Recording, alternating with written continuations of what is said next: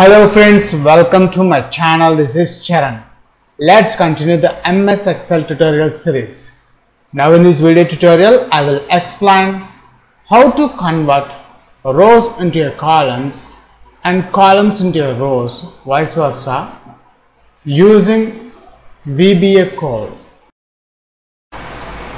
And here we got the final output. Notice the employee name, employee number, employee name and salary is displaying by default rows to columns. Now when I click columns to rows, see here we got columns to rows, employee number, employee name and salary.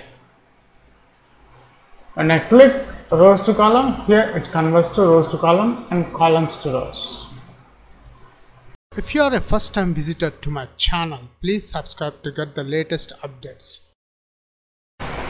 Notice on my Excel sheet contains some data, employee number, employee name and salary.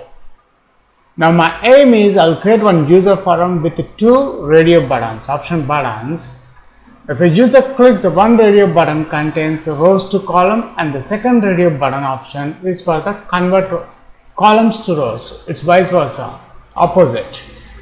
So let's create one user form to this application. To create a user form, we require the developer menu. Click that one, developer, and the developer code, click Visual Basic. And here we got the Visual Basic for applications. Now, in order to create a user form, for that we go to Insert, click User Form. Here we got the user form. Now, first we'll add, let me put this toolbox aside. First, we'll add one list box control. I'm adding this list box control here. Now, my first aim is I will populate the data, this data, employee number, employee name and salary into this list box. So, select the user form first, right click the mouse, go to view code. And here we got the coding part of the user form.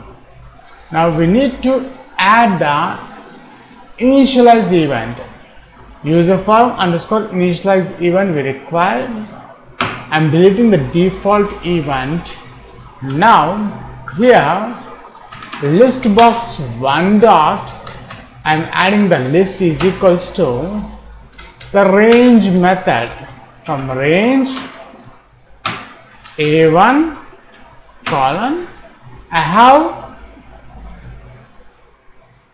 three columns. So C up to C12. Let's add C12. Up to C12. Dot value. Now we require to add the column also. List box one dot column count is equals to 3 because we have three columns 1, 2 and 3. Three columns I have added. Now we'll check the output and here we got the output of this uh, employee details from worksheet to the user form list box. Now next condition is we'll add two radio buttons. If a user clicks the radio button 1, it converts the rows into columns and the second radio button will convert columns into rows. So let's do that also. Close user form we'll add two radio buttons this is the option button radio button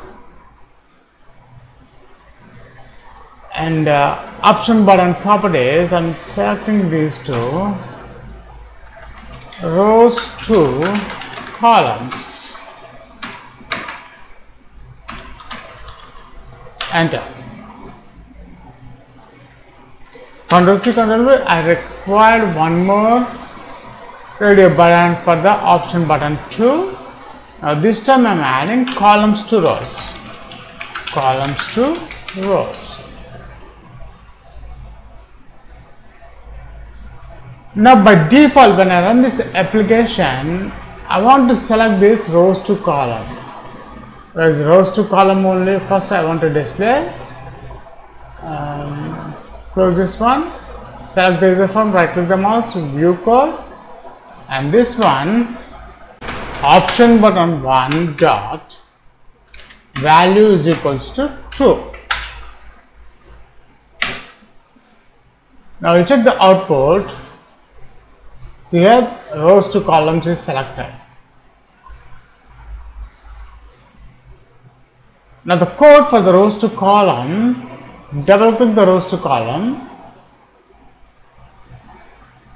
I'm adding the same thing.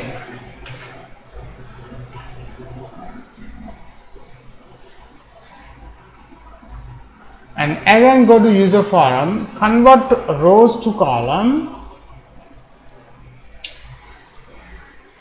to column.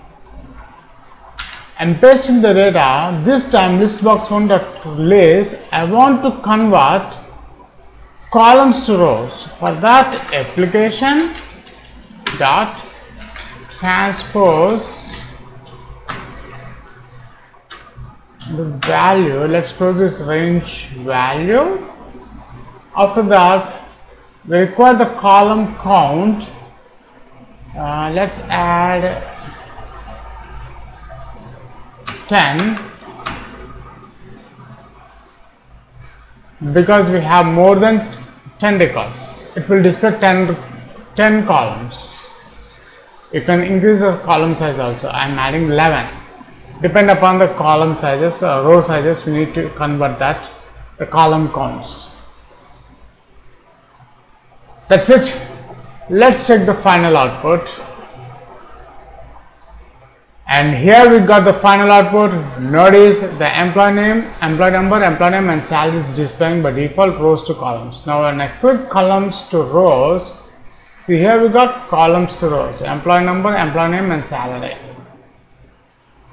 When i click rows to column here it converts to rows to column and columns to rows that's it in this video tutorial I have explained how to convert or transpose rows to columns and columns to rows vice versa in Excel VB code using user form. Thanks for watching and please subscribe my channel. If you like this video please do share and subscribe. Thanks for watching. We'll catch you in next video tutorial.